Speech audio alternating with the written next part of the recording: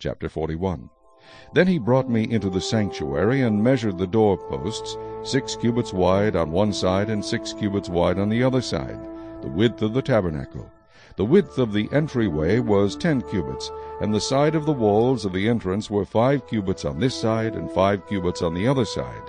And he measured its length forty cubits, and its width twenty cubits. Also he went inside and measured the doorposts, two cubits, and the entrance, six cubits high, and the width of the entrance seven cubits. He measured the length twenty cubits, and the width twenty cubits, beyond the sanctuary. And he said to me, This is the most holy place.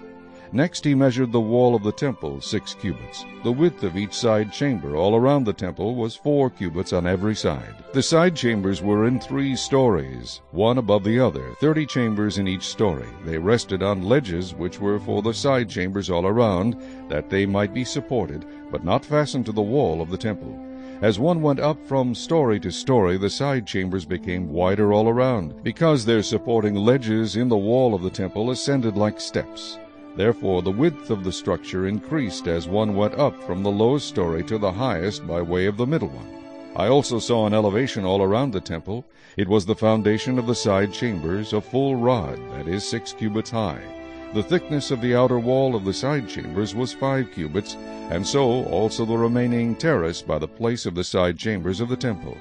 And between it and the wall chambers was a width of twenty cubits all around the temple on every side.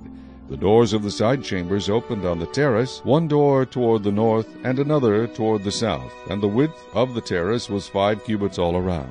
The building that faced the separating courtyard at its western end was seventy cubits wide, the wall of the building was five cubits thick all around, and its length ninety cubits. So he measured the temple one hundred cubits long, and the separating courtyard with the building and its walls was one hundred cubits long. Also the width of the eastern face of the temple, including the separating courtyard, was one hundred cubits. He measured the length of the building behind it, facing the separating courtyard, with its galleries on the one side, and on the other side one hundred cubits, as well as the inner temple and the porches of the court, their doorposts and the beveled window frames, and the galleries all around their three stories opposite the threshold were paneled with wood from the ground to the windows. The windows were covered. From the space above the door even to the inner room, as well as outside, and on every wall all around, inside and outside, by measure. And it was made with cherubim and palm trees, a palm tree between cherub and cherub. Each cherub had two faces, so that the face of a man was toward a palm tree on one side, and the face of a young lion toward a palm tree on the other side. Thus it was made throughout the temple all around. From the floor to the space above the door and on the wall of the sanctuary, cherubim and palm trees were carved.